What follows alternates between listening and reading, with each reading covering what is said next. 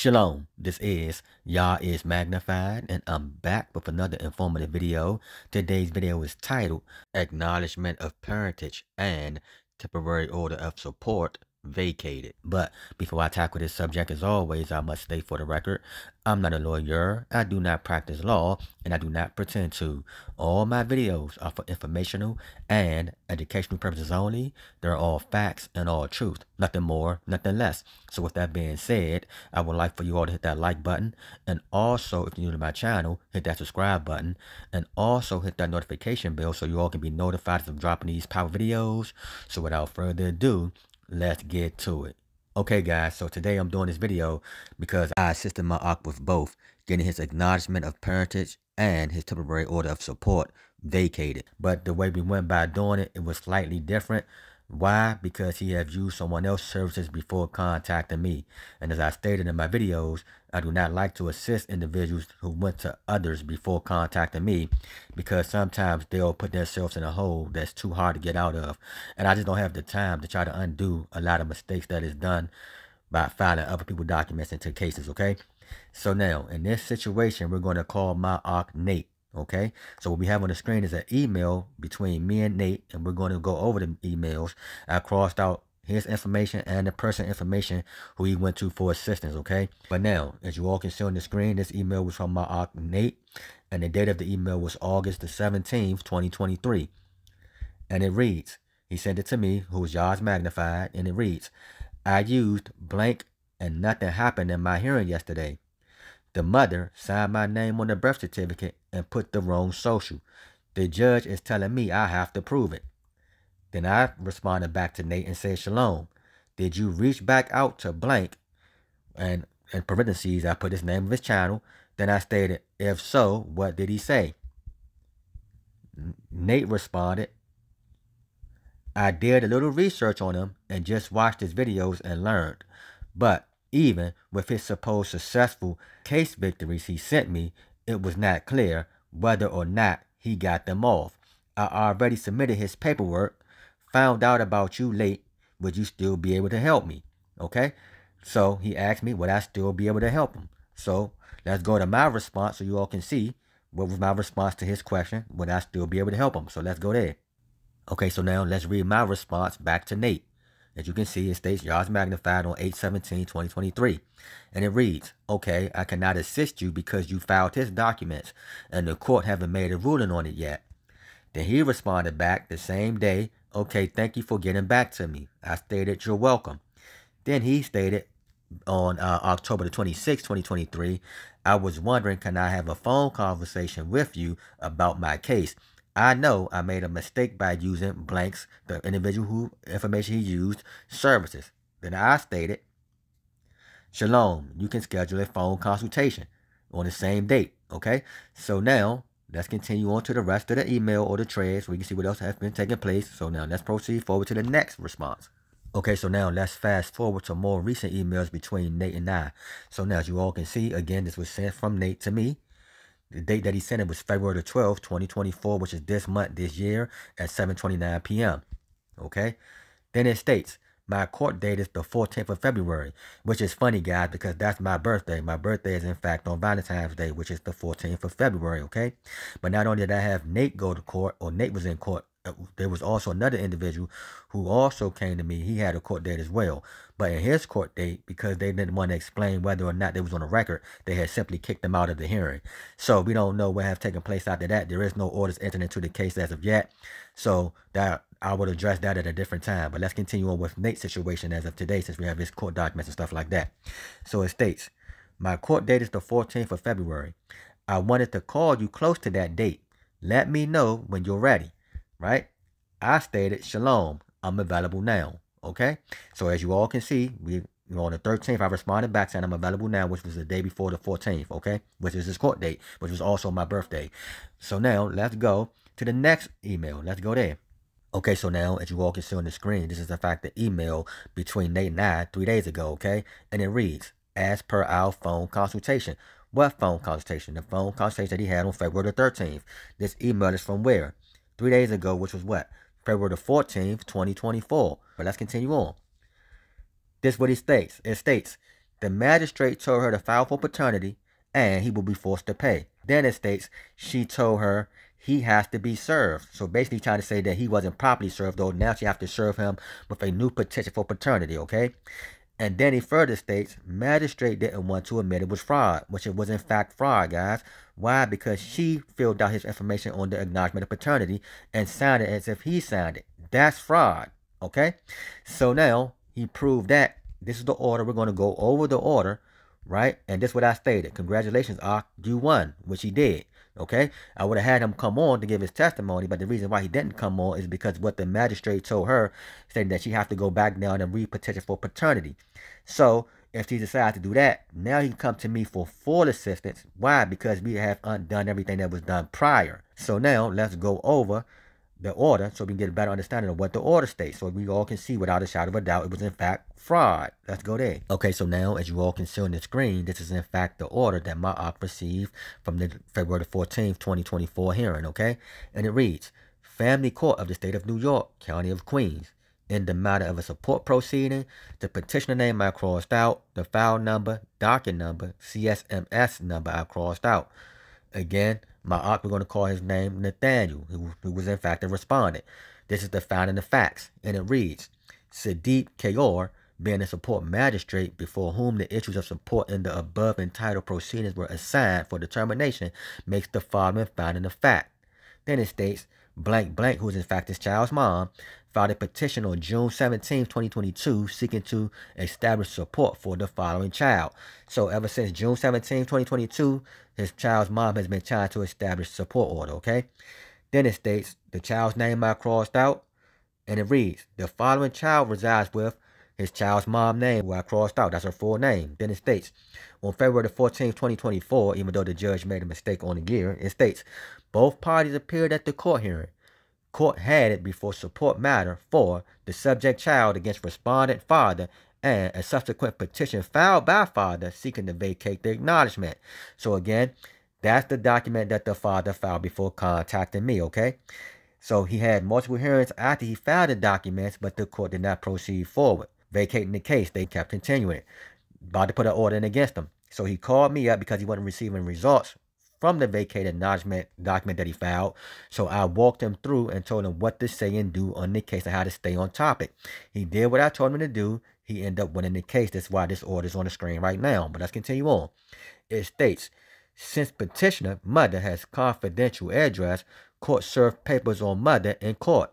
Then it states, respondent claimed he did not sign the acknowledgement and the court noted his social security number and his signature as on the petition he filed and acknowledgement does not match. Petitioner claimed respondent himself put wrong SS and he had allegedly asked her not to put his name on certificate of child as he wanted her to get welfare benefits. Court noted the acknowledgement also does not have child date of birth as the right year.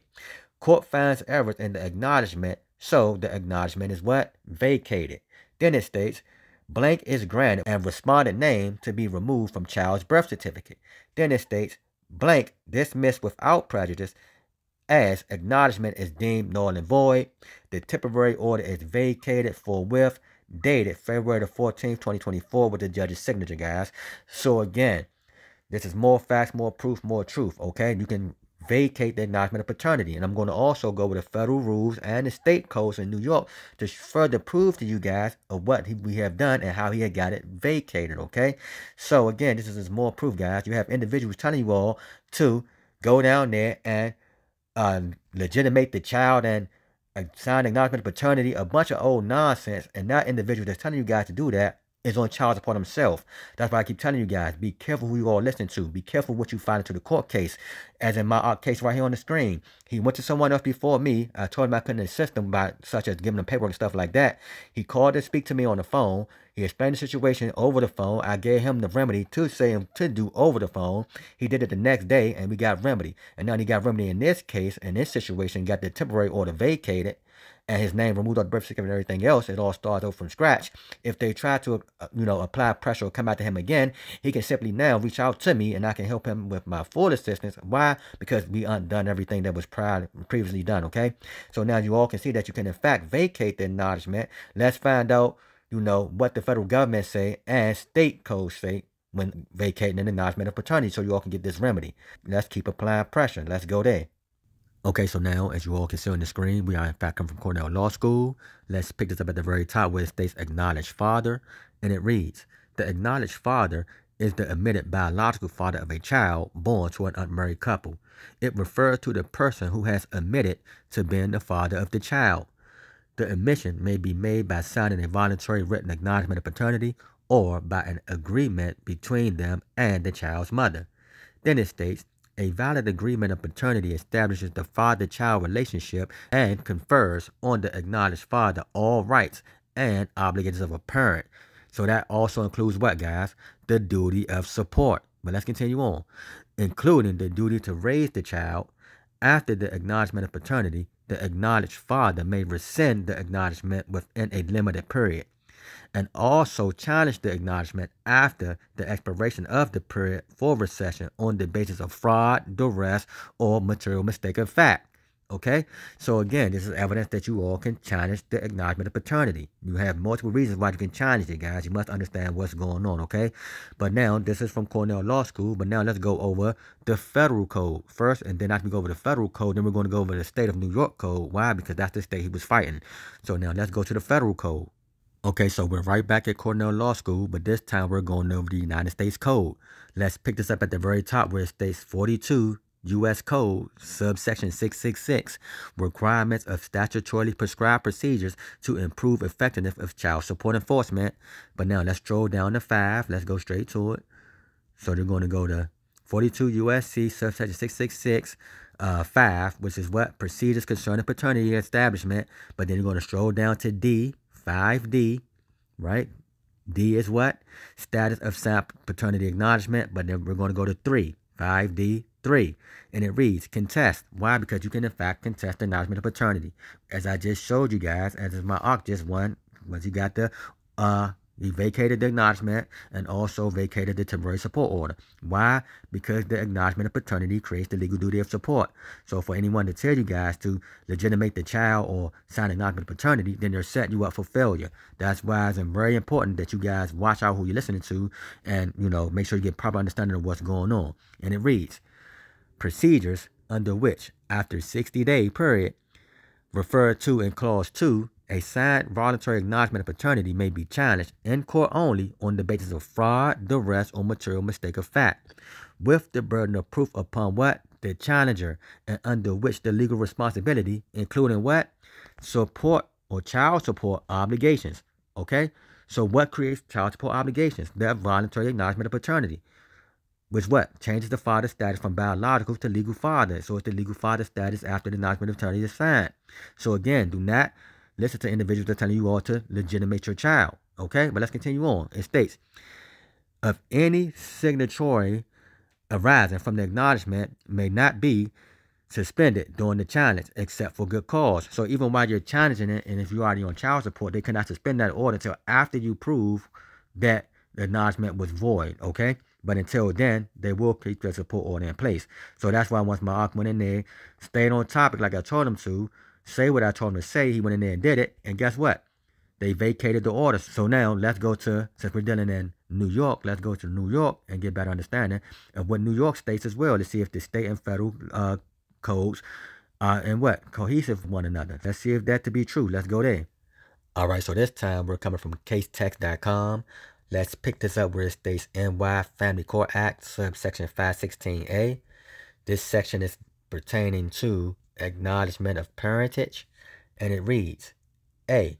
An acknowledgement of parentage executed pursuant to Section 111K of the Social Services Law or Section 4135B of the Public Health Law shall establish the parentage of and liability for the support of a child pursuant to this act, guys. So again, once parentage has been established, that automatically creates what, guys? The liability for support of a minor child. And it's just that simple, okay? So you have, again, you have individuals on YouTube telling you guys to what? Legitimate the child and to acknowledge paternity. The moment you guys do that, you are setting yourself up to be liable of paying child support. So again, be careful who you guys listening to. But let's continue on. It states, Such acknowledgement must be reduced to writing and filed pursuant to Section 4135B of the Public Health Law with the registrar of the district in which the birth occurred and in which the birth certificate has been filed. No further judicial or administrative proceedings are required to ratify and what an unchallenged acknowledgement of parentage. So if you go into court, right, or they bring you in for child support and you do not challenge the acknowledgement of paternity, then guess what? By your failure to challenge it, you are now accepted it, and now you're what? Held to do what? Pay child support. Why? Because now you're liable with the legal duty of support. But let's continue reading. It states, where a signatory to an acknowledgement of parentage executed pursuant to Section 111K of the Social Services Law or Section 4135B of the Public Health Law had obtained the age of 18 at the time of execution of the acknowledgement, the signatory may what? Seek to rescind the acknowledgement by filing a petition with the court to vacate the acknowledgement within the earlier of 60 days of the date of signing the acknowledgement or the date of what? Of an administrative or a judicial proceeding, including but not limited to what? A proceeding to establish support. Okay? So you have 60 days to do it, you know, but if you do it after the 60 days and your child's mom goes down and petition the court for support, then you can challenge it then. Okay? But let's continue on. Relating to the child in which the signator is a party for purposes of this section, the date of the administration, the administrative or judicial proceeding should be dated by which the respondent is required to answer the petition. So again, guys, you can challenge the what? The acknowledgement of paternity, okay? As we all know that by the acknowledgement of paternity being entered into the court case, places you on the duty of support. So failure to challenge that, you know, you will stay on support. So when individuals telling you guys to not challenging and to legitimate the child, then they're telling you guys you might well be on child support. So again, that's all I'm gonna do for today. Let's get this right wisdom, this right knowledge, and this right understanding. And with that being said, you all be blessed, and I say shalom.